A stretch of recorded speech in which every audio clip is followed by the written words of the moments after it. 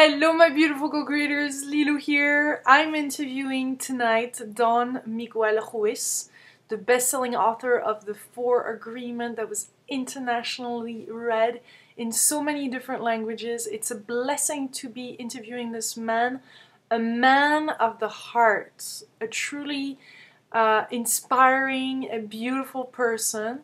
He just uh, wrote and published his latest book is The Fifth Agreement and definitely something to read and I'm going to interview him about his latest book and about all the truth and wisdom that he wants to share uh, with us. So it's a privilege to be interviewing right now Don Miguel Ruiz. Hello Don Miguel Ruiz. Hello, sweetheart. How are you doing? Very good, very good, very good. I'm. It's I feel a pleasure to be with you. well. Same here. I feel very, very blessed to have you. You're a, an amazing person, making such a difference in the world. You're a man of the heart. You're a messenger of love, aren't you? Well, you know, uh, people say many things about me, and uh, many people ask me what I am. uh, But the real truth is that I have no idea what I am. Um, but I know that I am. I'm here and I am alive. Then, in order to describe what I am, I have to use knowledge. And knowledge is not exactly truth, but it's what the way we understand each other. I can say, well, I am a human, I am male, I am a medical doctor, I am an author, I am a shaman, I am a, a energy, a spirit, light, but all those are just words. The truth is that I really don't know what I am, but I'm here, and it's the same with all of you you think that you, that you know what you are and you use knowledge to to tell to yourself what you are and you make an image of yourself and you project yourself in that way and everybody may believe that this is what you are. But i can tell you that perhaps a dog it doesn't know that it's a dog. A cat it doesn't know that it's a cat or an elephant.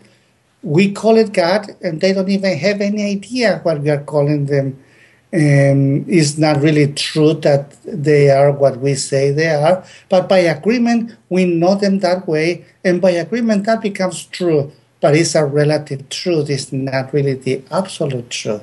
Mm. Because the absolute ah. truth doesn't need to be proved, because that truth exists long before the creation of humanity and will exist long after the extinction of humanity. But this relative truth is the one that we humans create by the use of the word. And I don't say it's good or bad or right or wrong, but we need to be aware that it's our creation. Because when we was born, we really didn't have any knowledge. And that comes later when our parents hook our attention. They teach us the sounds that after repeat and repeat, we mastered and when we was kind of ready uh, and we was kind of ready when finally something spectacular happened in our head we talk to ourselves in our head and we answer to ourselves with a voice that nobody else hear by us and we call it thinking. That's when we was ready to go to school and start learning all the graphics which means all the words that we learned from our parents now we was able to put it in graphic and we learned to write. And we learn a whole language that is only true for all the ones who agree with every single letter every single word and they understand completely the same language. But let's say that tomorrow you wake up in china or taiwan or germany or italy or any other country you will hear all those sounds that have no meaning for you you will see all those graphics that you have no idea what that, what that means. But in order to understand, you need to translate it from what you learn or what they learn. Then whoever grew up in that direction, they will have a different religion, a different philosophy, different way of thinking uh, uh, about themselves. They create a completely different images and they pretend to be what they believe they are. Then I don't know if I'm making sense. Yeah. So how do we go? How do we go beyond that? How do we go beyond that good and bad? Because you're even saying there is no good and bad. There is actually lies. Well, we create entire language, and the language is not good or bad, bad or, or right or wrong. It's a perfect creation, and it works for the purpose that we created. But we created not because we humans are so intelligent. No, we created because it was the program that we received in the moment of conception.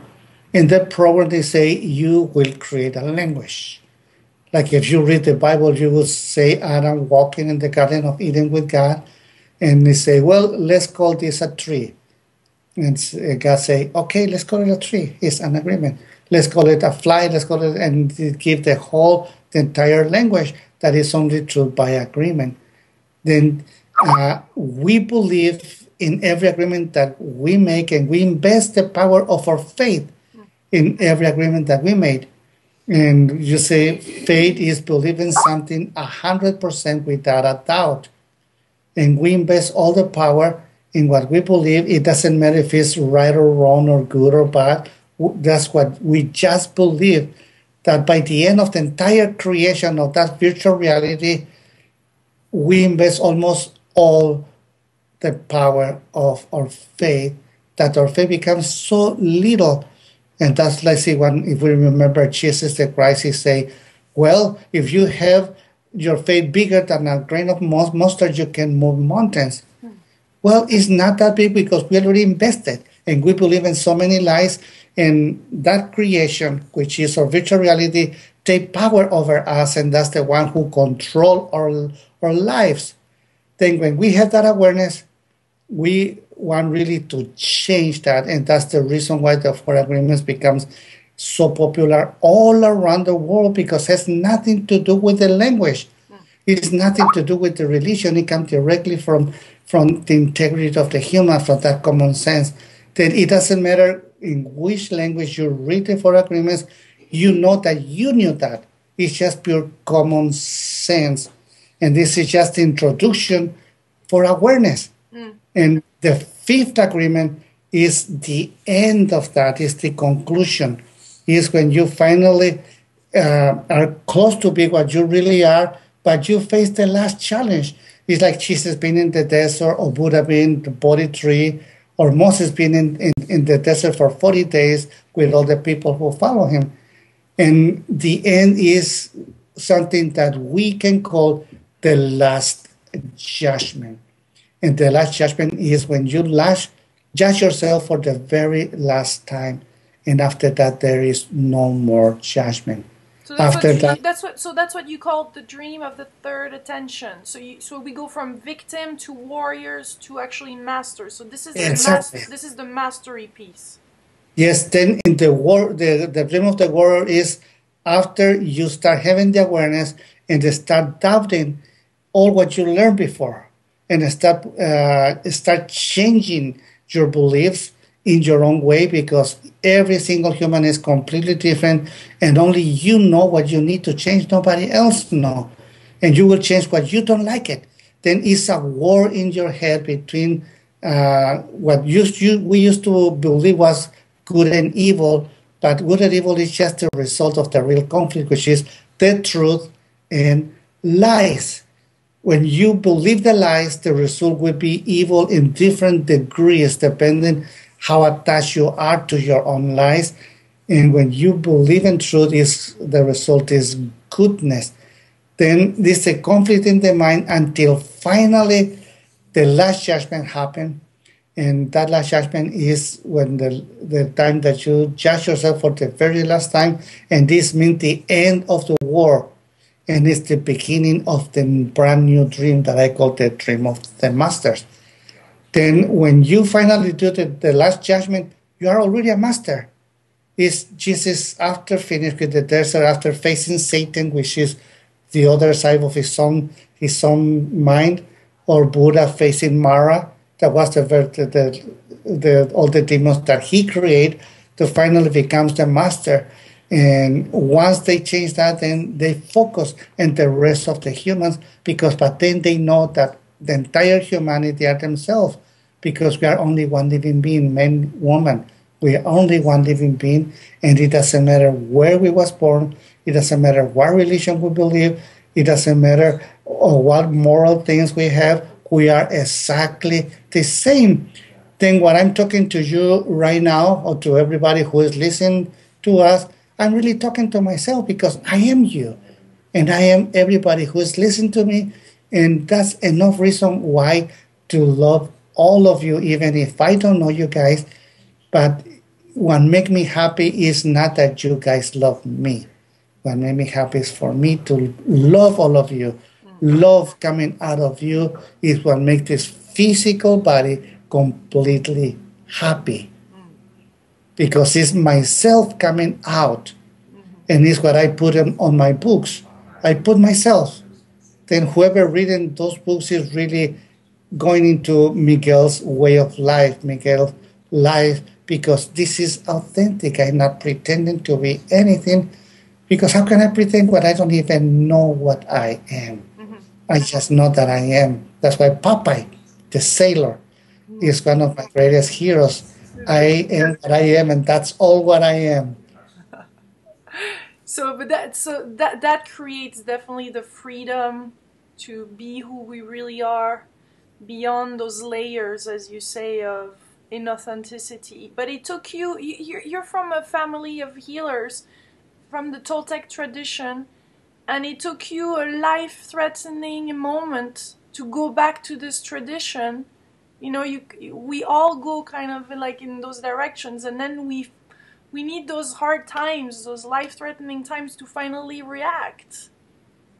Well, then see the light, but there is another way around that. Yes, and the reason is because we was trained in the opposite way.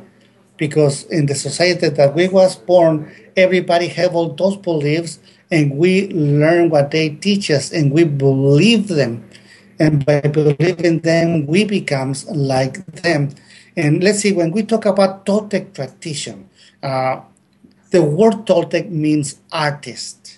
It's in Nahuatl and means artist then it means artist in any of the language that we talked before, like it means artist in English. I don't know what is the meaning in Germany or in Japanese or in China, but it's exactly the same meaning. Then when we talk about uh, the, the the Toltec tradition, we're talking about the artist tradition, and it's not just Mexico. It's all around the world. It's universal, and it's talking about the simple human being in this human society all around the world because there's artists all around. You can see the beauty of our creation in every single city. We give life to the cities, and the cities are alive. They have their own personality, their own way of being, their own beliefs, etc. All the, the people dreaming in those in those cities it's just amazing to see how we give life to all those cities, which is, let's see, like the temple of the humans who live in that city. Mm-hmm. Then uh, I can say that this it gives physical, it a soul. It gives it a soul. Yes, and their own personality, their, their own way of being. And like I can tell you, okay, this physical body is the home of my mind and my mind is the home of what I really am, even if I have no idea what I am. But I can say by using the words of knowledge that is a force, is the force that moves matter. Because if you remember physics, in physics they tell you that matter cannot be moved or stop the movement without the effect of a force. Well, we are that force. and life I don't know what I am, but I'm alive. I'm here. Mm-hmm. And I'm moving this physical body by my own will. Mm-hmm. Then this physical body has a home in wherever I live. It's a home in the city that I live. It's a home in the country that I live. And it's a home in the entire planet. That the entire planet is really a temple, a temple where nature is always teaching me. Nature is really the real master as I becomes a master because I am the earth for me to be the entire humanity, I'm also the earth and all the components of the earth. And that's what makes possible to a shaman do whatever they do, to a priest do whatever they do, because it's just names anyway. Mm-hmm. And I'm not really neither a medical doctor, a surgeon, I'm not a shaman, I'm not none of that. I'm just a messenger.